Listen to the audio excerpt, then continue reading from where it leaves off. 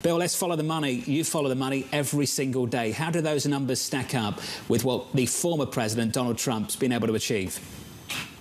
Donald Trump has had an amazing run of fundraising since that, actually since um, you know he was indicted and uh, the historic conviction in the New York courtroom. I mean, he he raised about 58 million dollars that day online alone.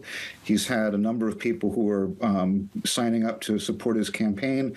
Um, we've reported that Elon Musk has pledged to put $45 million a month into a super PAC to help him get out the vote.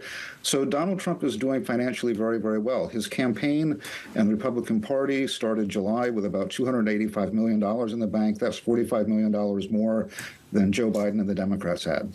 Bill, what does it mean for Kamala Harris at the top of the ticket? We know that means she has access to the $96 million in Biden's war chest, but what kind of new donations could we see? Well, there has been, you know, a, a huge um, jump in online donations to ActBlue. Uh, we don't know exactly where those donations are going, but I think it's a pretty good guess that a lot of them are going either to the president, to her ticket, or to um, the DNC, which supports her.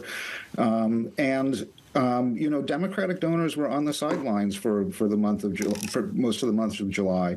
They were talking about holding back $90 million that was going to go into the main super PAC that was going to support Joe Biden. Uh, now we expect some of that money to come loose. Um, and, uh, you know, Democratic donors were very, very uncomfortable with donating to Joe Biden, who they weren't sure could finish out another four year term. And now um, I think that what we're going to see is that they're going to be, you know, energized and we're going to see like a lot more money coming into Democratic uh, coffers.